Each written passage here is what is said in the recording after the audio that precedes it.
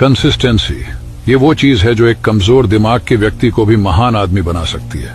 वो कहावत तो अपने सुनी ही होगी कि बूंद बूंद से घड़ा भरता है।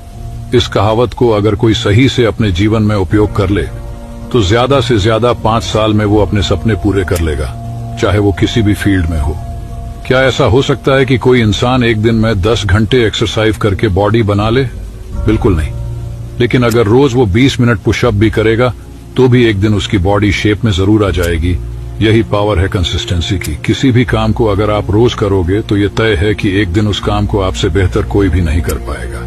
इसलिए अगर आपका कोई सपना है तो उसे पूरा करो। भले ही दस मिनट प्रैक्टिस करो, लेकिन रोज करो। इस तरह होगा ये कि वो दस मिनट कब घंटों में बदल जाएँगे। आपको पता भी नहीं चलेगा अपने कई बार लोगों को ये कहते सुना होगा कि ये इंसान बहुत टैलेंटेड है। दरअसल टैलेंट नाम की दुनिया में कोई चीज़ नहीं होती। वो उस इंसान की कंसिस्टेंसी है उस काम में, जिसे लोग टैलेंट का नाम दे देते हैं। आशा करता हूँ आपको मेरी बात समझ आई होगी।